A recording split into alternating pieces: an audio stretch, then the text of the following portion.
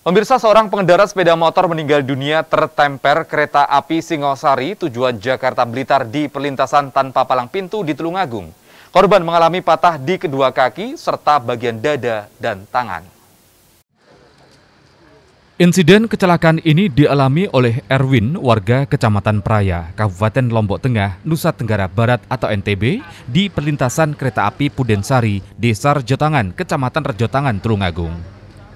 Kanit Gakum, Satlantas Polres Tulungagung, Ibtu Dion Fitrianto menyatakan, kecelakaan bermula saat korban mengendarai sepeda motor CB 150 dari arah barat. Saat sampai di lokasi kejadian, korban berbelok kiri dan menyeberang rel kereta api. Korban diduga kurang konsentrasi dan tidak mengetahui jika dari arah barat melintas kereta api Singasari tujuan Blitar. Akibatnya motor korban tertabrak dan terpental hingga 30 meter. Terjadi laka kereta antara kereta api Singosari dari Jakarta ke Malang. Ke Blitar. Ke Blitar ya kan dengan sepeda motor dengan sepeda motor.